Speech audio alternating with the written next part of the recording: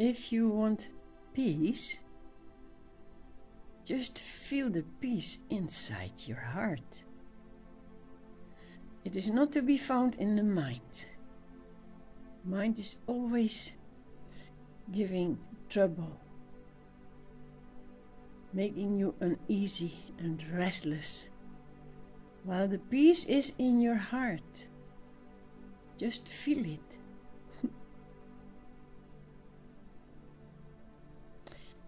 Taking each day as a gift from God, you can live peacefully, happily, and contentedly.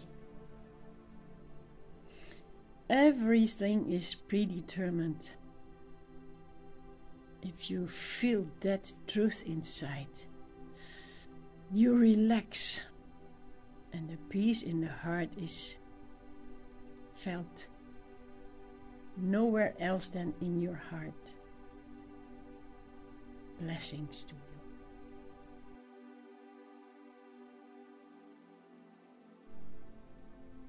I think everybody is afraid of the death and being dead. They are afraid of not existing anymore. But when you come to know that um, we are not only afraid of death, but also of dying, that moment that you disappear.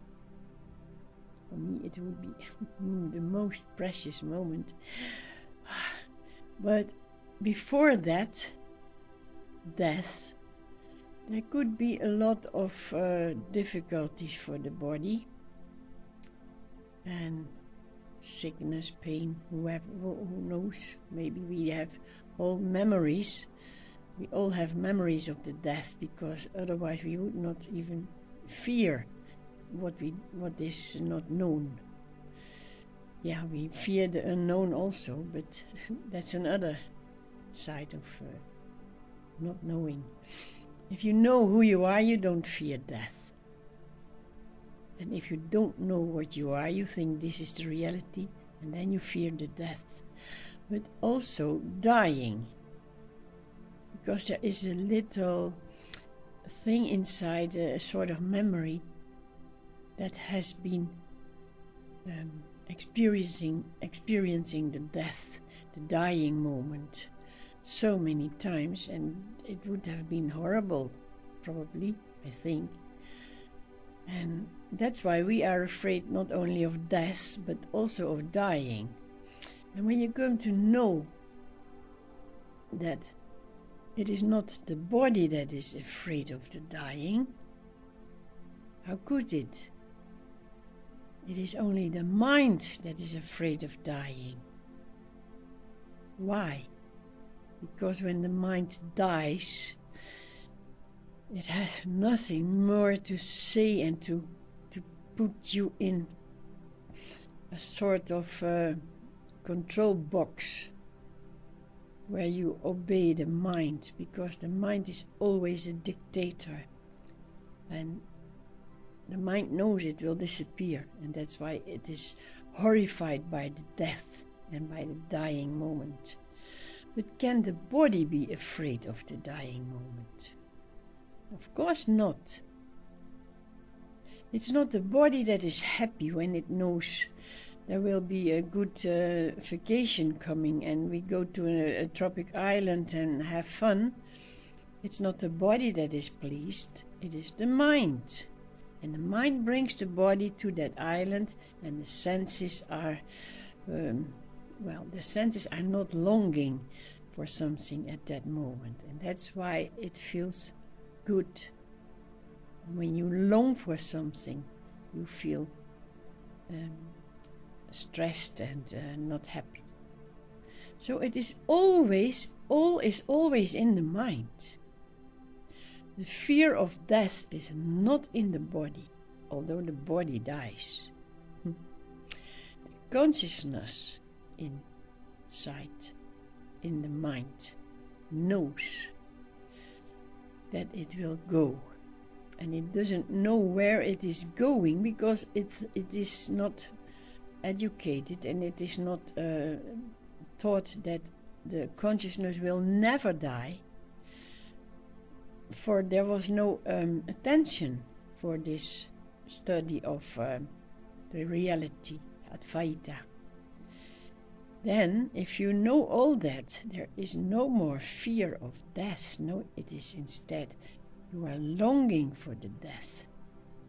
Because inside there is such a great blissful freedom, which is in the daytime in in moving around in the body it is always imprisoned and it is not free it is always captured in this um, embodiment the body itself is a sort of um, prison and inside when you really know there is so much more than this life here on earth then you are longing for the death so no more fear of death.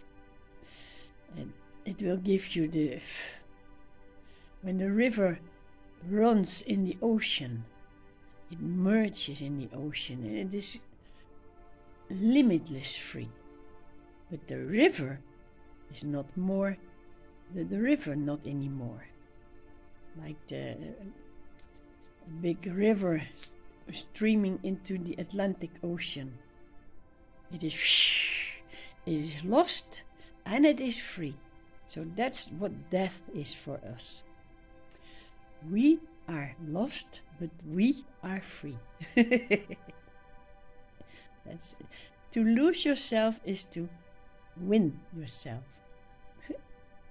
now, be happy all the time. Consciousness is not going away, so it can only be what it is, and without all those mind structures and fears and uh, afraid for the future, without all that, there is this freedom and there is this happiness. Consciousness is is not attached anymore to whatever form. Consciousness is the happiness itself, bliss, and then there is this open ocean where all is dissolved, and then there is the awareness of that free, empty. No more constructions in the mind. That state. Nothing more to see. Only feeling the bliss of what you are. Be happy in the body, out the body wherever you are. It is the consciousness what is happy. And you can feel it. when you come to think of it, it is something in you is afraid of death. Well, something must know death exists. But when something knows that there is death, there must be something very alive. yeah? And if you give that attention, it will take over all fear. You know there is death. Well, who is that know? Who is that knowing you? When you know there is death, then you must still be there. How else can you know it? You have survived so many, many, many times dying. it was only the, the body, the corpus, that disappeared, but not you. Of course not. How can you know death?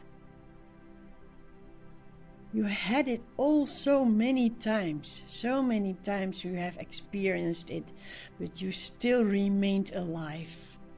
And now that you are aware of what it is that is alive, that it is your consciousness, your being, your, your real self, then you will be happy to die. The mind will die with its wrong ideas and the body will die because it has done its job. It went through all experiences to make you aware.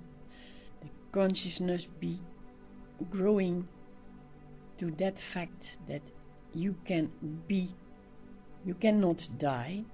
You only know dying, but that was not you. that was not you dying. You are eternal alive. happy, happy, happy. You can only find a peace in your heart, not in your mind.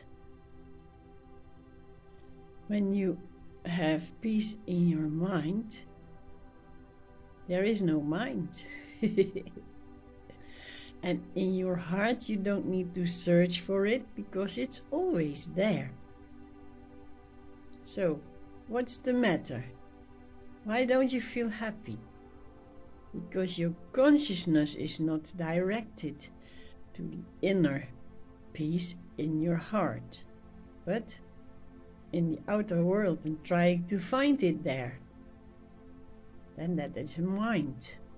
Mind wants to have peace and goes outside in the world. You'll not find it, always busy, not this, not that, or maybe that, oh no, not that. I want peace. Get lost of the I and get lost of the want. And what is remaining? That's you. Are you afraid when there is that moment? You are so tired you go to bed and you fall asleep. Is there something afraid to fall asleep? no, it is so. There's disappearing from all the busy moments and the mind thoughts and wow, wow, wow, what a busy life we have to do this and we must have that and that's not to be forgotten. We are so tired by all that energy of the mind, of the thoughts. that we go to bed and we fall away. Are you afraid or happy, or don't you even notice it? Well, anyway, no one is afraid to fall asleep because it is so nice to disappear. And because we have no idea of our consciousness, of our reality, it seems that the night is in the sleep there is nothing. It's black for the mind. Mind cannot enter that blackness, but the soul is already dead. And it's not black, black at all, it's not empty at all, it's empty of thoughts and empty of mind. But it is full of the bliss of the self. And if you put your attention in the day to that self, that really self inside you now, if you give that attention, it will be experienced in the sleep of the night. If you dream, there is still flashes of, of what what happened, and it's mixed up, and it can be strange. But then you fall in a deep sleep where is no dream state, no you, no mind, nothing for the mind. But that moment, what you experience then, is the most aliveness of your real self. And if you remember, if you think of that in the day, it will be experienced and you will awake with a, with a feeling of, of bliss. And then the mind comes and say, "Oh, I feel so good. What have I dreamt. I know I wanted to dream that again. That's the mind. It's disturbing, making trouble, taking over, keeping things under control. But mind, bye bye, you have nothing to say in the reality of that being what we are. There is no mind. So that means when you drift away, you are not afraid. And when you drift away and you are so called dying, then you are just dying of the existence in the body and in the mind. And then the reality of what you are is experienced. And give it your attention in the day. And then you will, so full of bliss, you will be happy as, as un, unspeakable about that. Because that's your reality. And that's now in your heart and in your soul. And in the mind is only the fear, because the mind is afraid of disappearing. And only when that has happened, there is this bliss, this real self, the God, the self, Ananda, peace. My, my, my. We have been so far away from it because we listened to our mind, which doesn't know a single thing.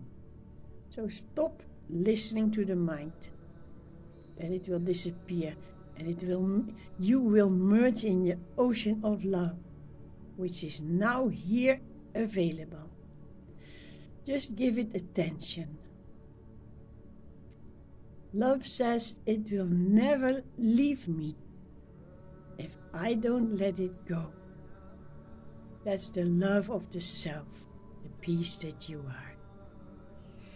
Be blessed.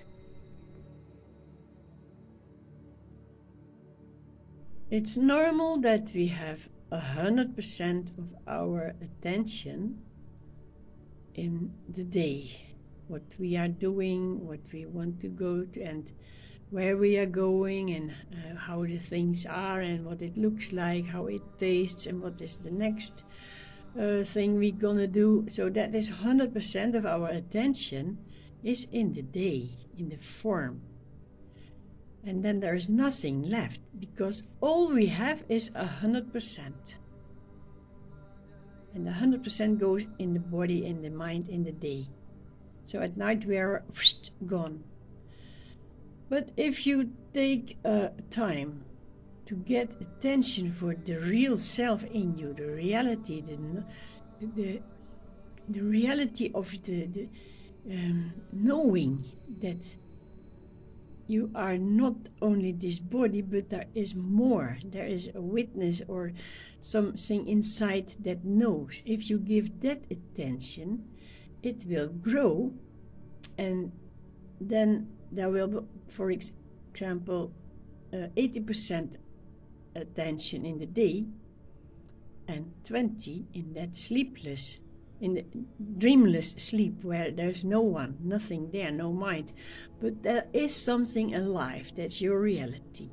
And when you give only 80% in the day you have 20% awareness in that night. So then you can uh, feel it when you put your mind on it you think of it, it it's felt and if you put 50% only for the day and your things, then there is 50% in the night awareness. The consciousness will be um, alert, and you take that 50% of that reality that you are, which has no form, but it is very much your own aliveness. You have that feeling in the day.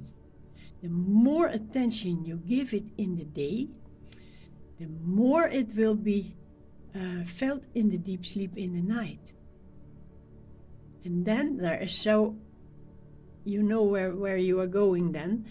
Uh, that's why so many wise men just don't do anything in the night, in the day, in the life. They know it is not their reality, it's not what they are. And they just are silent and uh, still they are in peace because they have given all the attention that was lost in the day in the body form, they have given it in the day, given it to the reality of the self of that I am. And that is now 100% felt in the day, experienced. So then you can talk to them and say, hey, do you want to go with me? I am going to town and buy some new shoes. Or, no, so I don't feel like it. Well, you are boring. Yeah, that's what, what they think because they have fun for a, a, the, the time being.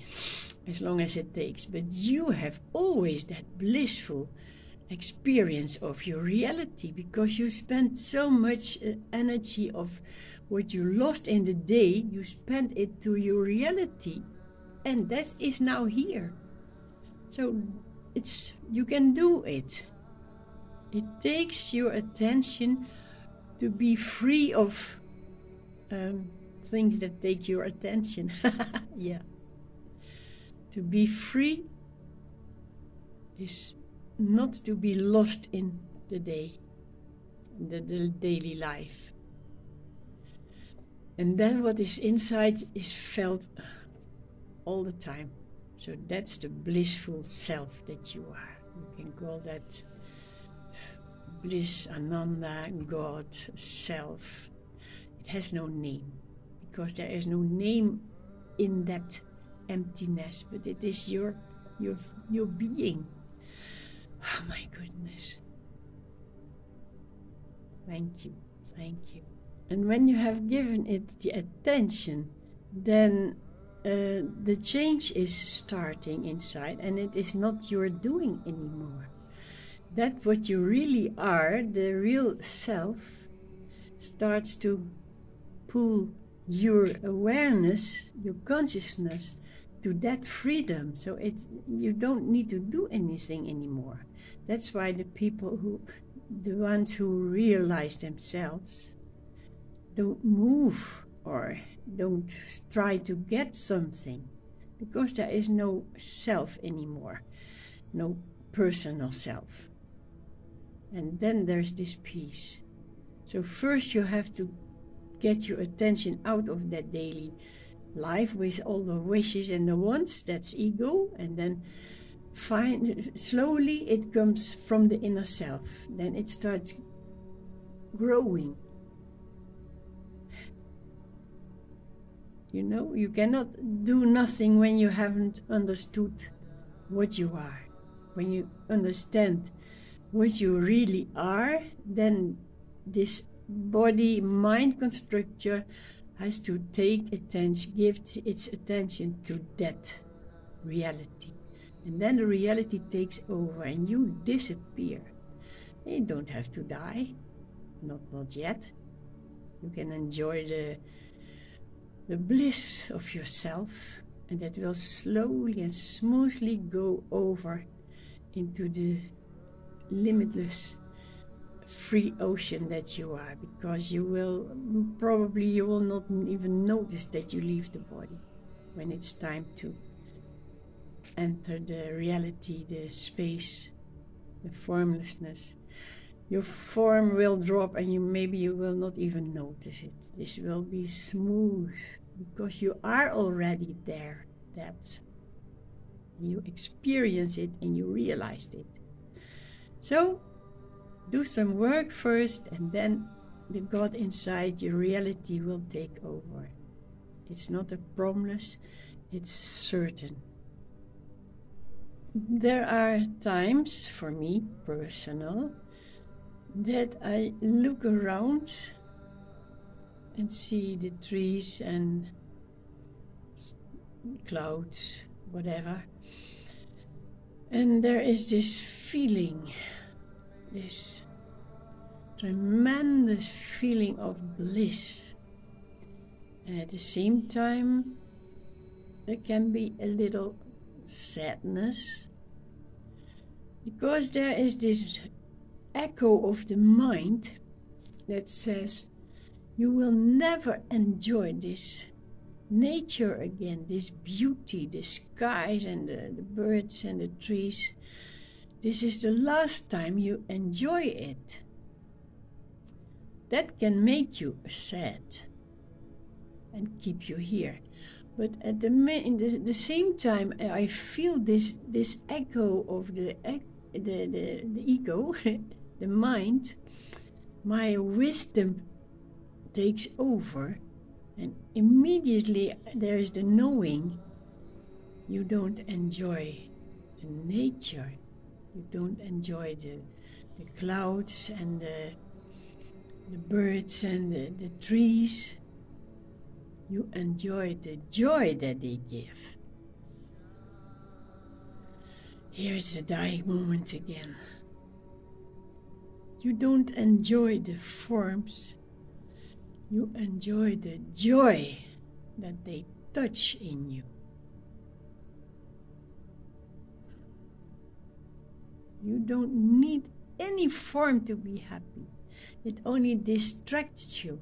And when you really know, realize that you are that great, free, blissful being, there is still the enjoying things around you. But it is not a depending anymore. Your joy is not depending. Like when I had my cup of tea, it was so good. I was cold and I had a warm cup of tea. And I said, Thank you, God. This is so good. And I felt so good by, by this cup of tea. And then God spoke. That's the reality what you are. That's the self. It's not for the cup of tea, it is only a tool you touch the self. You can put that in all circumstances. Whatever is making you happy is not. It is pointing you to the happiness inside. Oh, if you could remember that, there would be this bliss eternally. So give it attention. Then in the deep sleep there it, it is for free in the deep sleep. In the dreamless sleep it is there. It is not covered anymore. Then if you have that state of mind that mind that is no mind anymore but, but it is the reality the wisdom when you have that by drinking tea and you feeling the joy and you know it's not the tea it's the joy. You look in the nature you see the trees and the birds and you feel the joy and you think it's not the trees or the nature it's the joy then all can disappear because the joy is not needing to be touched anymore. That was the outer form. That was just your imagination the mind says go out and have joy that's imagined. It's only in the mind. It's not the trees and the tea or whatever objects. Not even the, the greatest piece of, of the diamond of whatever can, can make you feel what you are. It's just that is what the mind is making you uh, crazy about. The mind says, go and get it. And you lose it. And by knowing it, you win it back. It is now here. Eternally happiness. That's what you are.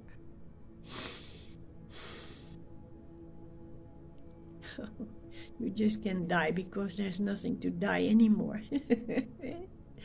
have have bliss and, and blessings. That's what you are.